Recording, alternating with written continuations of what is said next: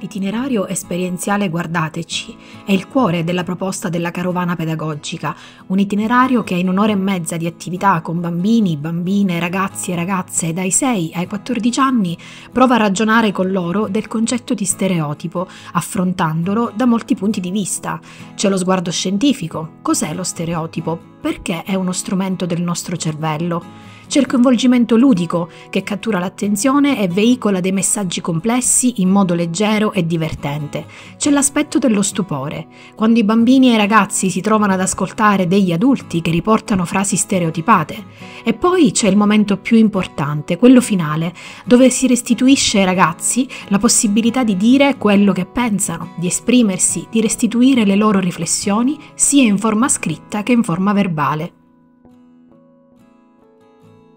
I laboratori che avete offerto ai ragazzi erano stimolanti e, e, poi il fatto che siano stati appunto delle attività pensate in maniera laboratoriale, corale, questa è una cosa che ai ragazzi piace.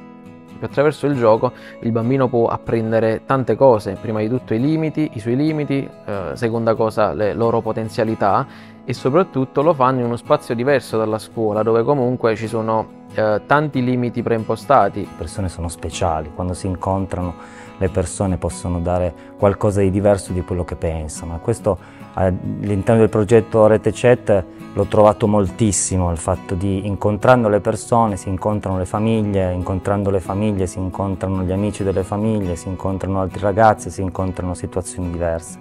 Abbiamo imparato a non giudicare e a non farci dei giudizi. Prima di giudicare bisogna conoscere.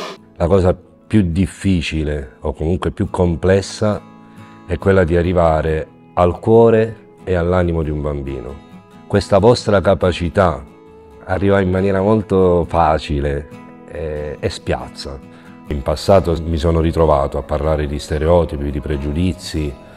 I miei ragazzi li conosco da molto tempo e la loro partecipazione, il loro entusiasmo e anche il grado di comprensione è dovuto solo ed esclusivamente a questa vostra capacità di coinvolgimento e soprattutto eh, espressione di, di un qualsiasi tema, indifferentemente dalla complessità. I bambini vanno ascoltati soprattutto e se non ascoltiamo loro e non scendiamo un po', guardiamo con i loro occhi, diciamo che eh, nulla potrà mai cambiare e quando facciamo parlare i bambini facciamo sempre bene, diciamo la verità.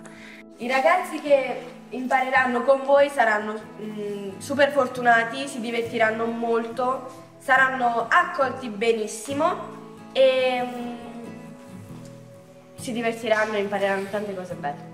Ci avete aiutato a guardare oltre. Uh, cosa intendo? Ho visto proprio nei bambini, a parte un vivo interesse, Uh, ma proprio l'interesse verso questa tematica, tant'è vero una volta rientrati poi in classe uh, non abbiamo ripreso la lezione tradizionale perché mi hanno sommersa di domande sull'attività svolta e poi proprio, uh, abbiamo creato un momento di discussione dove loro hanno poi espresso la loro opinione sia su pregiudizi e stereotipi ma proprio in generale su come noi adulti giudichiamo i bambini. Devo dire la verità, è stato anche d'aiuto uh, a me, proprio perché a volte mi rendo conto che anche io nel gestire la classe magari mando un messaggio sbagliato, ecco, etichetto un po' alcune situazioni che dovrebbero essere scardinate e analizzate diversamente. Ho osservato eh, le diverse classi che si sono affacciate a questo progetto